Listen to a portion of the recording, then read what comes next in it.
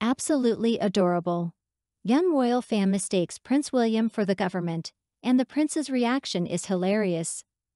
In this heartwarming moment, a young fan of the royal family mistakenly identifies Prince William as the government.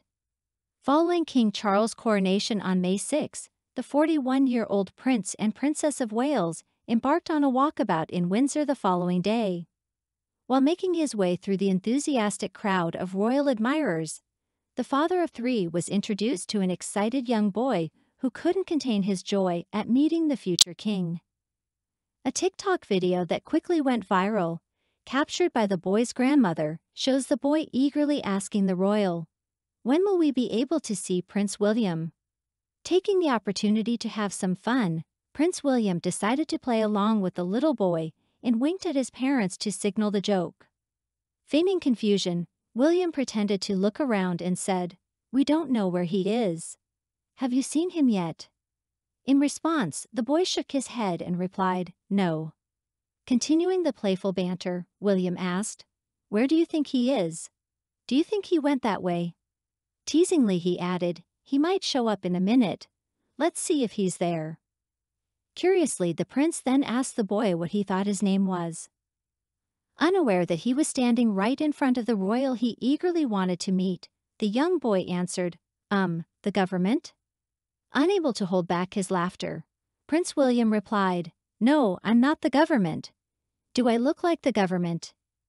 Glancing down at his navy suit, he humorously added, They do dress like this quite often. Finally, the prince revealed his true identity to the boy, saying, My name is William too. It took a moment for the realization to sink in for the young fan, who then exclaimed, You're Prince William. The heartwarming clip concludes with the royal shaking the boy's hand before he turned to his mother and exclaimed, It's Prince William, Mummy.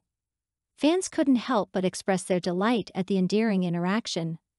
One fan commented, Too cute for words. Both of them are absolutely adorable, lovely. Another remarked, I love how he winked at the mother to keep the joke going. So cute. A third fan gushed, the best future king ever. Meanwhile, a fourth fan noted, just like his mother, and natural with children. During the rest of the walkabout, a little girl was so overwhelmed upon meeting Kate that she received a comforting hug from the Duchess, to the cheers of onlookers. The duo's 40-minute walkabout along Windsor's renowned Long Walk included sipping cocktails and being presented with a special coronation ale dedicated to the king. This surprise appearance coincided with Buckingham Palace expressing that the king and queen were deeply touched by the nation's celebration of their coronation. Dear friend, if you like everything new about the royal family and don't want to miss all the novelties, subscribe to our channel and like it by doing so, you take part in our development. We work for you.